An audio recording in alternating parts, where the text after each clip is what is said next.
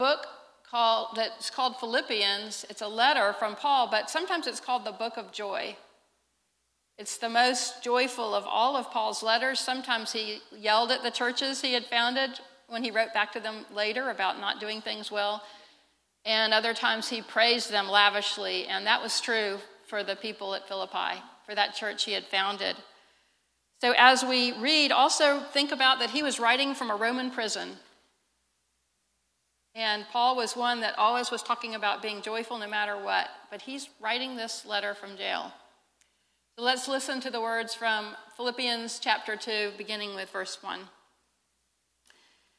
If there's any encouragement in Christ, any consolation from love, any sharing in the Spirit, any compassion and sympathy, make my joy complete.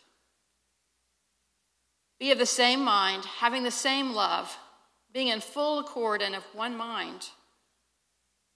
Do nothing from selfish ambition or conceit, but in humility regard others as better than yourselves. Let each of you look not to your own interests, but to the interest of others. Let the same mind be in you that was in Christ Jesus, who, though he was in the form of God, did not regard equality with God as something to be exploited, but emptied himself, taking the form of a slave being born in human likeness. And being found in human form, he humbled himself and became obedient to the point of death, even death on a cross. Therefore, God also highly exalted him and gave him the name that is above every name, so that the name of Jesus every knee should bend in heaven and on earth and under the earth, and every tongue confess that Jesus Christ is Lord, to the glory of God the Father. Therefore, my beloved, just as you have always obeyed me, not only in my presence, but much more now in my absence, work out your own salvation with fear and trembling. For it is God who is at work in you, enabling you both to will and to work for his good pleasure. This is the word of the Lord.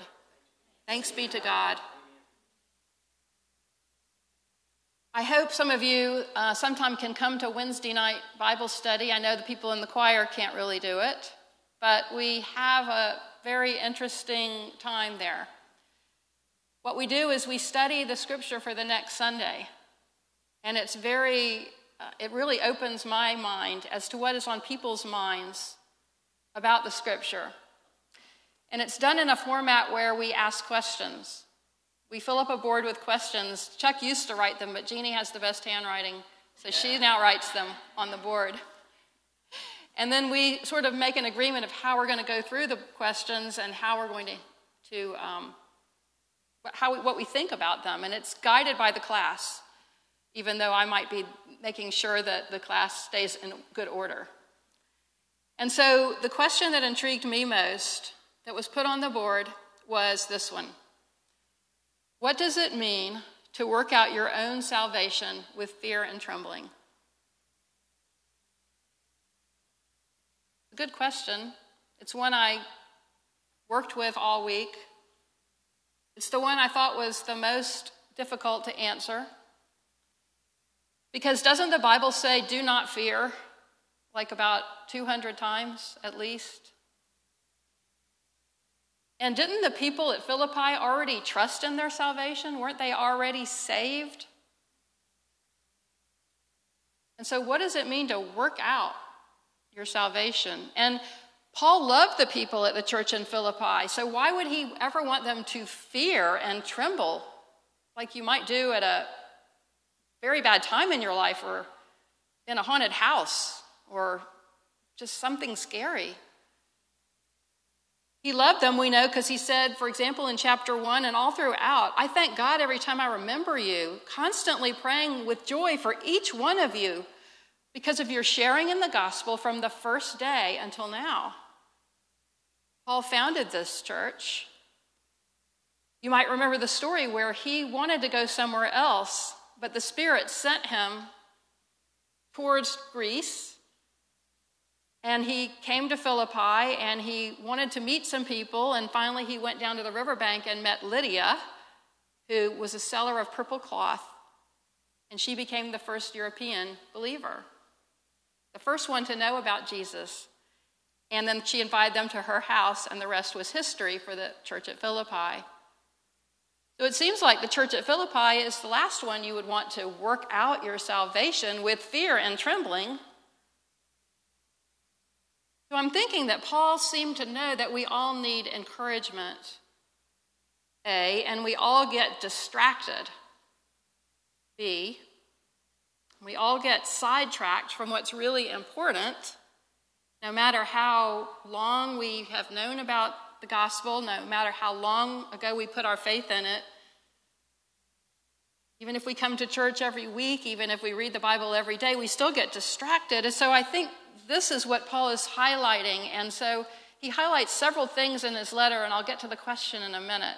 The first one he highlights is unity among believers. Be of the same mind. And the second thing he highlights is what that mind is, and that's the mind of Christ. So maybe think about leaders in your church, in your life, that had a certain mind and someone else's mind didn't agree with that mind and there was disunity. And so Paul is saying everybody needs to have the mind of one person alone, and that's Jesus. Let your mind be the same mind as in Jesus. So that sounds good enough because Jesus is exalted and Jesus is important, but Paul says, I remember, Jesus is the one that went to the cross. Let your unified mind be the same one as the person that God sent, who was God and human, who was obedient like a slave. So, everyone in this room, if he's talking, if we were Philippi, he's saying, everybody have the same mind. That mind is Jesus, and that mind is self sacrificing and is only interested in the interests of others. That is a tall order. Think now about any disunity you've known in, in a church you've been at, maybe over your whole life, from the beginning to now. Anytime people's minds didn't agree, maybe it was because the mind of Christ wasn't the one that was being followed.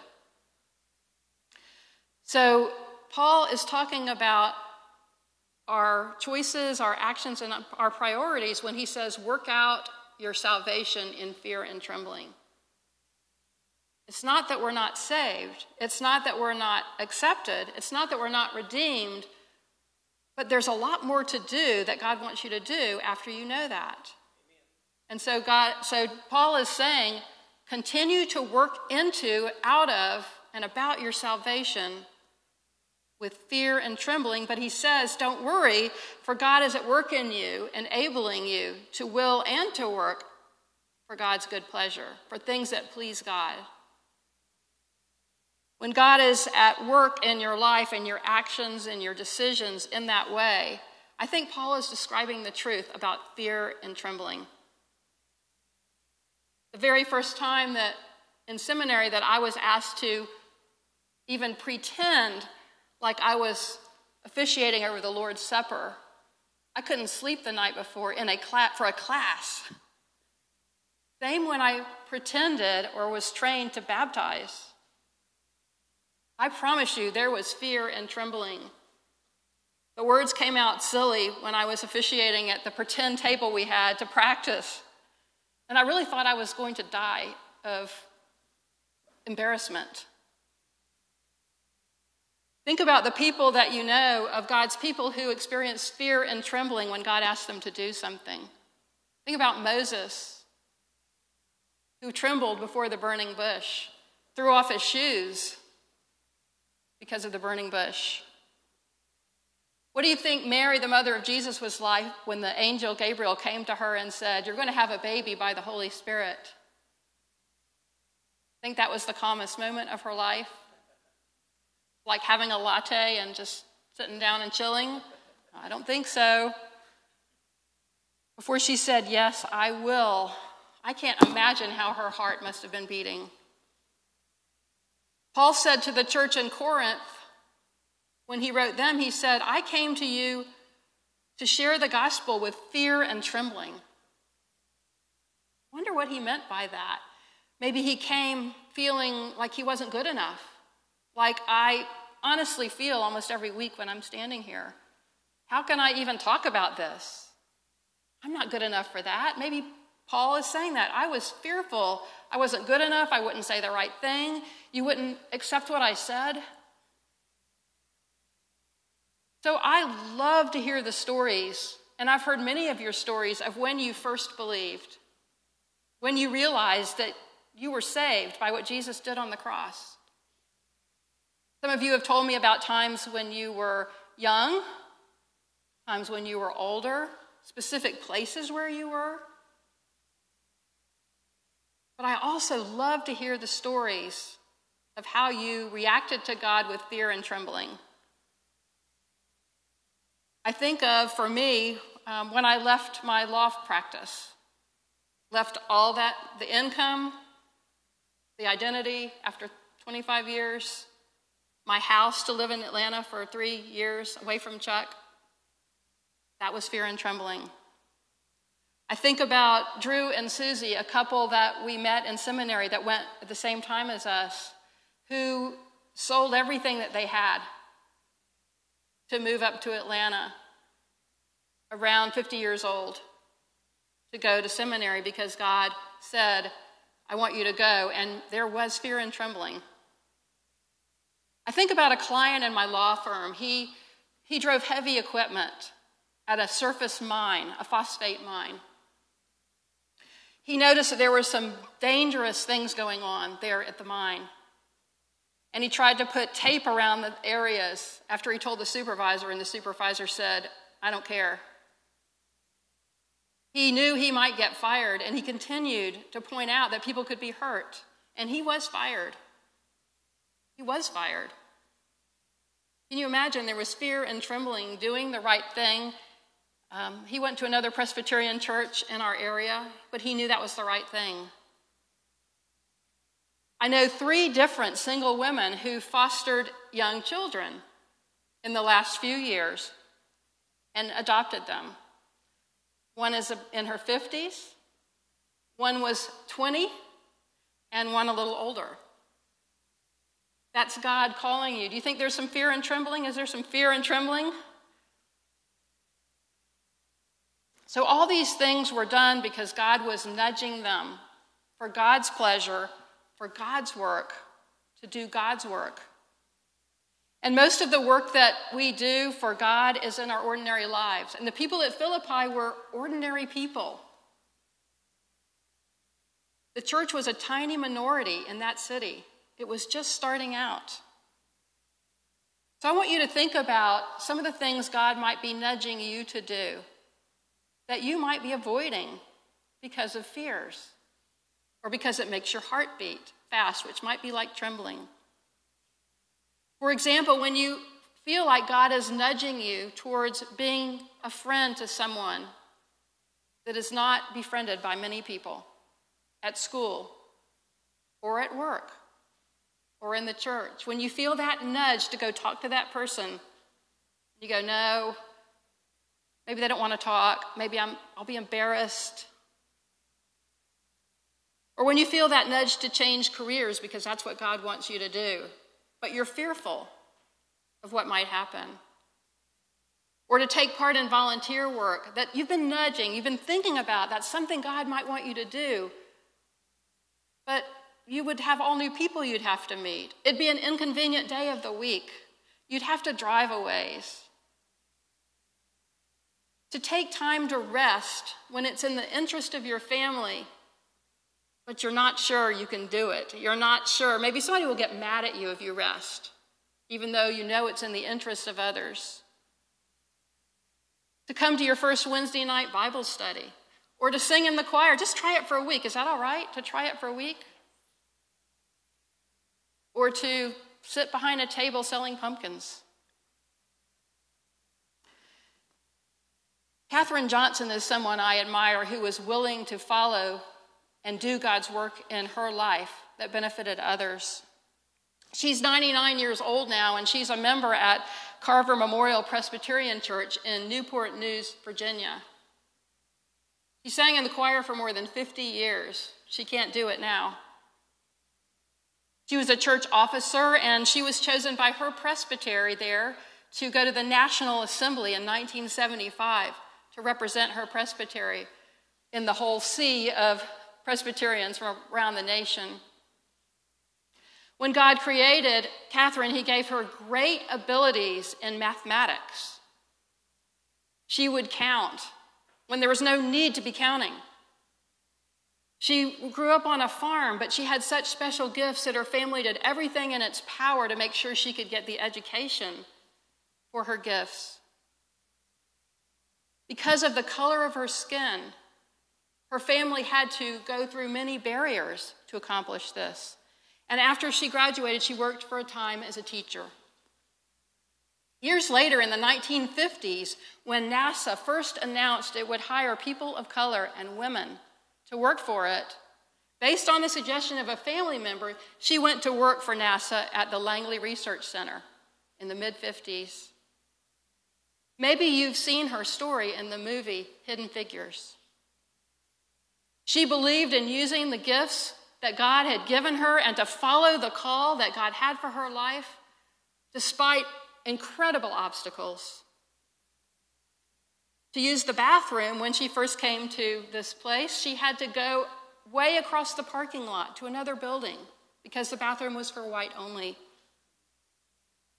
She ended up being the one who calculated the trajectory for John Glenn in his first um, space flight, first American in space, and it was said, I'm sorry, Alan Shepard, it was said that John Glenn wouldn't go unless she recalculated what the man who had calculated the tra- trajectory had done.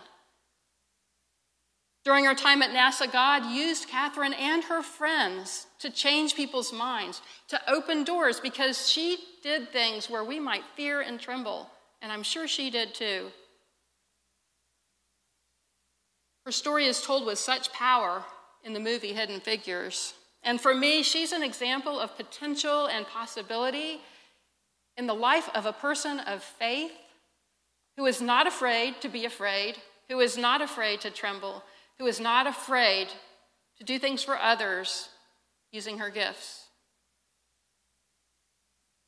What's most amazing, I read an article about her, is she was humble. I had to laugh out loud when I read that her pastor said that he was at the church three years before he ever heard of what she had done. Can you imagine that? One of my favorite Christian preachers and writers, Barbara Brown Taylor, Episcopalian, she wrote When a preacher finishes a sermon, the only name that should be on people's lips is Jesus Christ. When someone finishes a sermon, the only name that should be on your lips is Jesus Christ. Maybe Paul was wanting to redirect people from themselves and their own achievements back to Jesus Christ. Maybe that's why he said, Do things in fear and trembling and humility. Maybe he wanted to remind them that if they do something good, it's 100% God. And if they want to do something good, God will be behind them 100%. So he reminded them to keep Christ at the center of everything they did and to remember that Jesus always put his interests above the interests of anyone, below the interests of anyone else, even to death on a cross. On Communion Sunday, which is World Communion Sunday, we will soon hold the broken bread that Paul's talking about. The pieces of broken bread of Jesus who put the interests of others before his own. And we'll soon share the cup that he poured for his disciples to give them strength to do what he did. I think we need the power that comes from his humility. I think we need that power that perfects our weakness. To God be the glory. Amen.